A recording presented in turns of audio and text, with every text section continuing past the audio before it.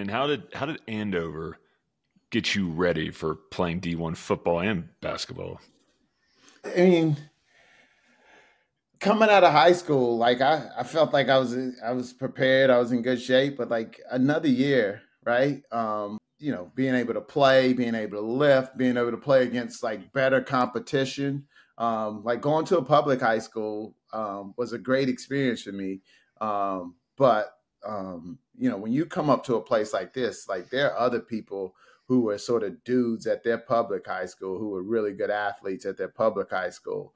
Um, and um, one of the things that this place offered was um, like the, all of these coaches, and it's something that like I think is really important now. All of these coaches, um, they may be coming to see our best player in the gym, but they have a chance to see like all the other players too, right? So the exposure here um, is sort of one of the key factors in what makes this experience, like from an athletic perspective, um, so attractive. And so, um, you know, I, I, lifted a lot here. I had a lot of free time, like outside of classes and sports, and so like I had to figure out how was I going to use that time.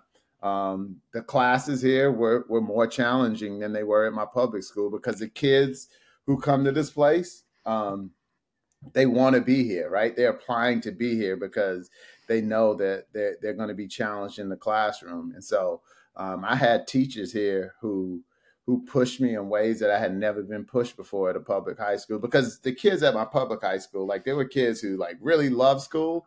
And then there were kids, they went to school because they had to, but they didn't necessarily want to be here. Whereas everybody in the classroom here wanted to be here. Um, and so I, I, think I was a better student. Um, like outside of like the work that I was doing in the classroom, I went and got extra help when I needed it. Like I, I never had to do that um, at, at, my public school, and so being able to to sort of develop that skill of asking for help and advocating for myself, um, you know, academically, but also outside of the the class and with sports and things like that, like um, if I wanted to get better, right, um, I could reach out to my coach. He was right on campus and say, "Hey, coach, can you open up the gym?" Or, "Coach, you have time to shoot with me?" Or, you know, if there were other guys on campus, like I, I tried to take advantage of all the opportunities I had at this place to sort of prepare myself as as well as I possibly could um, for when I when I was no longer going to be at a place like this. And I just think the transition in a lot of different ways, whether it was in the classroom or outside of the classroom um, was just made so much easier because of um, some of the lessons and some of the things that I sort of, you know, adversity that I dealt with when I was a student here um, for that one year.